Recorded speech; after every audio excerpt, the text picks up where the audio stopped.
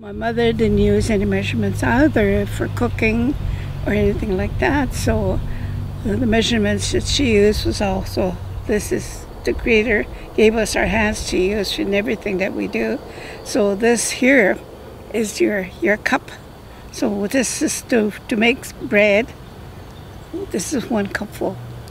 I taught not too long ago, maybe maybe about 12 years ago.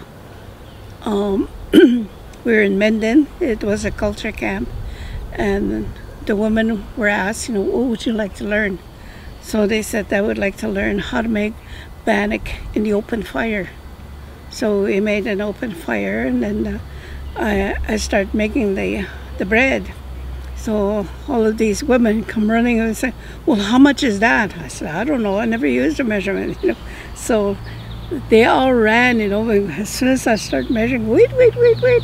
So they went and got the measuring cups, with whatever they brought. They, so, and uh, sure enough, my hand like that was equal to uh, one cup, one cup of flour, tad of uh, salt, what you put in there.